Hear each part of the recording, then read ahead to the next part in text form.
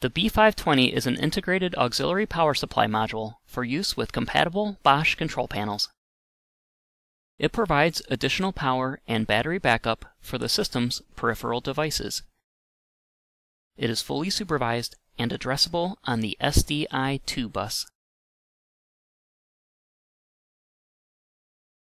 First, we'll look at some highlights of the B520 hardware. Two battery connections.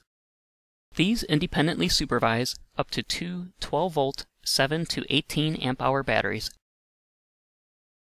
SDI 2 bus input and output terminals. The advanced SDI 2 bus technology allows the device to communicate its diagnostic status to the installation or maintenance technician. The attached Quick Connect port provides a fast and easy way to install additional SDI2 bus devices, such as keypads or door control modules. Aux power. This output provides up to 2 amps of auxiliary power for fire applications and up to 4 amps of alarm current for burglar applications. Tamper input for monitoring local access into your enclosure. Rotary switches. Easy to read dials provide a quick way to address the module. And finally, diagnostic LEDs.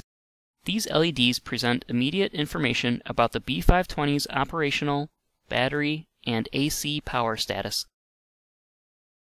In addition to the B520's hardware features, we want to mention two other hardware components as well. The B520 receives its power from the standard Bosch TR 1850 plug-in transformer. And the B12 mounting plate is required for mounting the B520 into specific enclosures.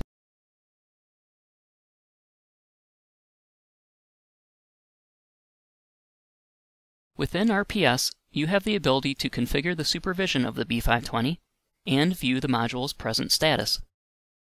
For the configuration, browse to SDI2 modules B520 aux power supply, and adjust the fields as necessary. Your options include supervising the B520 module, its tamper input, and its attached batteries. For a view of the diagnostic status, select the Diagnostics button while you are connected to your panel. Then select B520 Power Supply. In diagnostics, you can quickly check things such as the firmware version, bus voltage, or the condition of the input and output voltage on the board. This completes our B520 product overview.